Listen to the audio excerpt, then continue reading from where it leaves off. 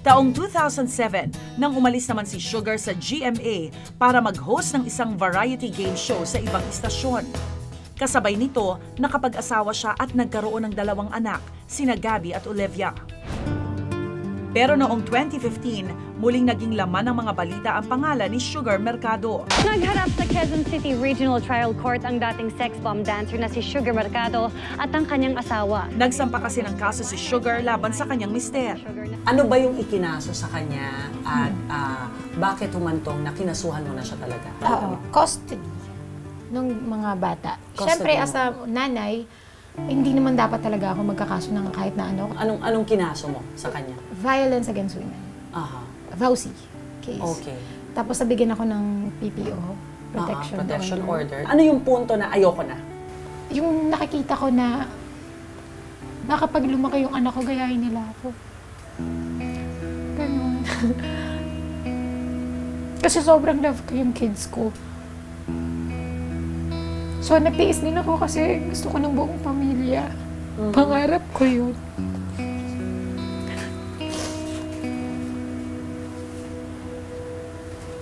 Hindi ko pinangarap na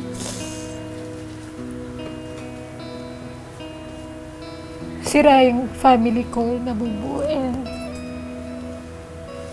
Pero hindi ko na kaya.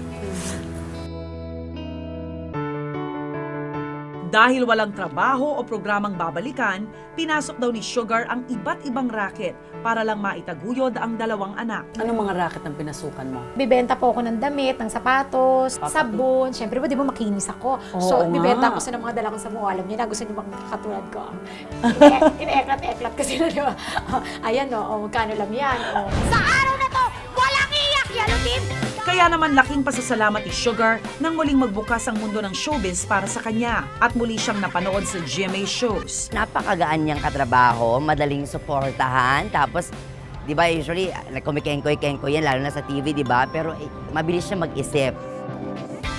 Siyempre pa, ang lahat ng kanyang pagpupursige ay para sa kanyang dalawang chikitin. Iniisip mo ba ang pag-ibig na yon? Hindi. Hindi.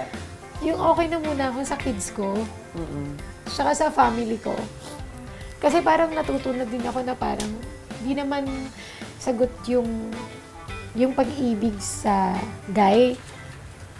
Basta masaya ka, na masaya ako ngayon. Mapait man daw ang mga pinagdaanan sa buhay ni Sugar Mercado, nananatiling may tamis sa kanyang mga labi at may lakas na muling bumangon at maging matatag para sa kanyang dalawang anak. Patuloy lang siyang magbibigay saya sa mga taong naniniwala at nagmamahal sa kanya. Anong aral ng tunay na buhay ni Sugar Mercado? Um, laban lang, walang susuko. Dahil habang nabubuhay tayo may pag-asa.